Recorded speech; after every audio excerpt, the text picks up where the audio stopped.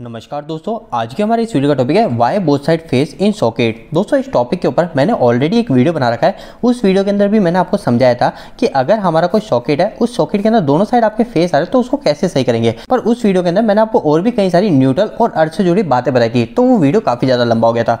पर दोस्तों, आज का जो यह वीडियो है, ये वीडियो काफ़ी ज़्यादा छोटा होने वाला है। इस वीडियो के अंदर हम डायरेक्ट पॉइंट की बात पे आएँगे और हम किस तरीके से चेक करें और किस तरीके से इसको सही करें, हम उसके ऊपर बात करेंगे। तो दोस्तों वीडियो को स्टार्ट कर लेते हैं। तो दोस्तों, अगर आपके भी घर के न्यूट्रल में फेस आ रहा है तो दोस्तों सबसे पहली चीज़ आपको यह देखनी है कि आपके पूरे घर के अंदर जो सभी बोर्ड है, उन सभी बोर्ड के अंदर न्यूट्रल में अर्थ आ रहा है या फिर सिर्फ़ एक बोर्ड के अंदर न्यूट्रल में अर्थ आ रहा है? क्योंकि दोस्तों यह जो दोनों समस्या है, इन दोनों समस्या का समाधान अलग अलग है। सबसे पहले हम यह बात कर लेते हैं कि अगर आपके पूरे घर के बोर्ड में न्यूट्रल में फेस आ रहा है तो आपको क्या करना चाहिए? सबसे पहली चीज़ दोस्तों, इस समय आपका एक काम बिल्कुल भी नहीं करना है तो मैंने यहाँ पे लिख दिया है, आपको किसी भी बोर्ड को ओपन करने की ज़रूरत नहीं है। तो पूरे घर के बोर्ड में अगर समस्या आ रही है तो आपको कहाँ पे जाना है? आपको सबसे पहले जाना है हमारी जो मेन लाइन की सप्लाई जहाँ से आ रही है मेन लाइन मेन फ़ेज़ जो आ रहा है मेन हमारा न्यूट्रल आ रहा है, हमको वहाँ पे चले जाना है, ठीक है? और वहीं पे हमारी कुछ ना कुछ समस्या है, हमको वहीं पे जाके चेक करनी है।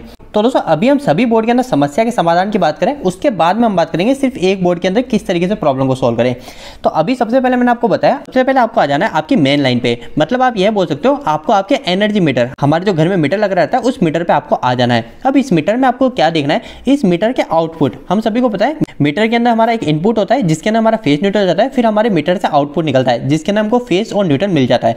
तो हमारा जो मीटर का आउटपुट है, उस आउटपुट में हमको चेक करना है कि यहाँ पे जो न्यूट्रल है, इस न्यूट्रल के अंदर हमारा फेस ग्लो हो रहा है नहीं हो रहा। दोस्तों, यहाँ पे एक समस्या होगी आपके सामने कि हमारा जो मीटर है, वो मीटर हमारा पूरी तरीके से सील पैक होता है तो वहाँ पर हम न्यूट्रल को चेक नहीं कर सकते। तो हमारा जो आउटपुट का वायर, हमारा आउटपुट का वायर सबसे पहले कहाँ जाता है, वो जाता है हमारा एमसीबी बॉक्स के अंदर। तो उस एम बॉक्स को जाके आपको खोलना है और उसके अंदर जो हमारी एम लग रही है इस एमसीबी के अंदर आपको जाके चेक कर लेना है कि हमारा जो न्यूट्रल है, उस न्यूट्रल के अंदर भी हमारा फेस ग्लो हो रहा है नहीं हो रहा। अगर यहाँ पे भी आपके न्यूट्रल के अंदर फेस ग्लो हो रहा है तो आप क्या कीजिएगा, एक बार जो हमारी एमसीबी है, इस एमसीबी को ऑफ़ कर दीजिएगा।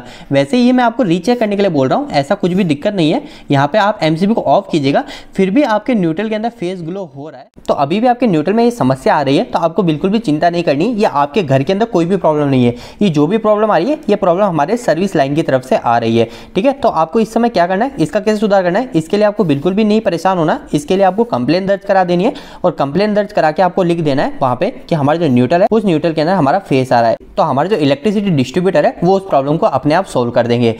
और दोस्तों, इसी के साथ में एक और प्रॉब्लम यह आ जाती है कि हमारा जो न्यूट्रल है और जो फेस है, जो हमने एमसीबी में कनेक्ट कर रखा है, इस एमसीबी के इनकमिंग में हमारे न्यूट्रल के अंदर तो कोई फेस ग्लो नहीं हो रहा, पर जो आउटपुट है, इस आउटपुट के अंदर हमारा फेस की सप्लाई आ रही है। तो उस समय हमको क्या करना है? तो दोस्तों, इस समय हमारे पास में दो कंडीशन हो जाती है। सबसे पहली कंडीशन क्या होगी? सबसे पहली कंडीशन ये होगी कि हमारी जो एम है, इस एम में हमने जो कनेक्शन किया ऊपर की साइड ये हमारे कहीं लूज तो नहीं है। यहाँ पे ऊपर भी आपको टाइट कनेक्शन देख लेना है। आपका जो यहाँ पे न्यूट्रल वायर कनेक्ट है, इस न्यूट्रल वायर के अंदर कहीं सल्फेक्शन तो नहीं आ गया, या फिर हमारा कार्बन तो नहीं आ गया या फिर हमारा लूज कनेक्शन तो नहीं है। तो ये दो तीन चीज़ें देख के आपको इसको अच्छे टाइट कर देना है, फिर आपकी ये प्रॉब्लम रिसोल्व हो जाएगी। और इन्हीं दो स्टेप को फॉलो करके आपके जो पूरे घर के बोर्ड में जो फेस की प्रॉब्लम आ रही थी, उसको आप सोल्व कर सकते हैं। अब दोस्तों, दूसरा प्रॉब्लम आ जाती है। दूसरी प्रॉब्लम क्या आ जाती है? सिर्फ़ एक बोर्ड के अंदर ही हमारे न्यूट्रल में फेस की सप्लाई आ रही है। यानी पूरे घर के बोर्ड में नहीं आ रही, सिर्फ़ हमारा जो एक पॉइंट है, उस एक पॉइंट के अंदर ही हमारी ऐसी प्रॉब्लम आ रही है। तो इस समय आपको क्या करना है? तो दोस्तों, इस समय आपको कोई भी आपकी मेन लाइन पे नहीं जाना है। इस समय जिस बोर्ड के अंदर समस्या आ रही है, उसी बोर्ड को आपको खोल लेना है, ठीक है? इसमें दो चीज़ें होगी। सबसे पहली चीज़, आप इसी बोर्ड को खोलेंगे। और दूसरी चीज़, इसके अंदर जो न्यूट्रल आ रहा है, इसके अंदर जो हमारा न्यूट्रल आ रहा है, वो न्यूट्रल हमारा किस जगह ज्वाइंट है? क्या होता है? हम जो न्यूट्रल का वायर होता है, ये न्यूट्रल वायर को हम कई जगह पर ज्वाइंट कर देते हैं। तो या फिर हम कई जगह पर ज्वाइंट कर दे रहे हैं, या फिर हमारा ये जो बोर्ड है, ये हमारे जिस कमरे का बोर्ड है, इस कमरे की हम अलग से एक एमसीबी लगा देते हैं, या फिर हम एक फ्यूज लगा देते हैं। तो वो सब चीज़ हमको देखनी है। ये जो न्यूट्रल हमारे इस बोर्ड के अंदर आ रहा है, वो किस जगह से आ रहा है? एमसीबी से आ रहा है तो एमसीबी में कहीं हमारा लूज कनेक्शन तो नहीं है। कहीं पे हमने ज्वाइंट कर रखा है तो हमारा ज्वाइंट खुल तो नहीं गया। और अगर वह खुला हुआ नहीं है तो हमको ये देखना है कि उसमें सल्फेक्शन तो नहीं आ गया। इसकी वजह से भी हमें प्रॉब्लम आती है।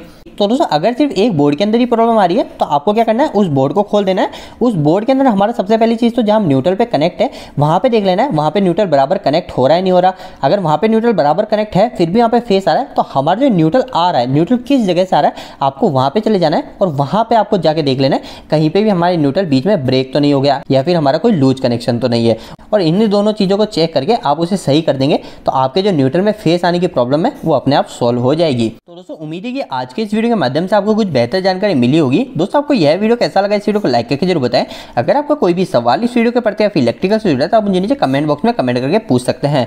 इलेक्ट्रिकल की वीडियो अगर आप हिंदी में देखना पसंद करते हैं, आज हमारे चैनल को सब्सक्राइब कर लीजिए। आज के लिए इतना ही। धन्यवाद।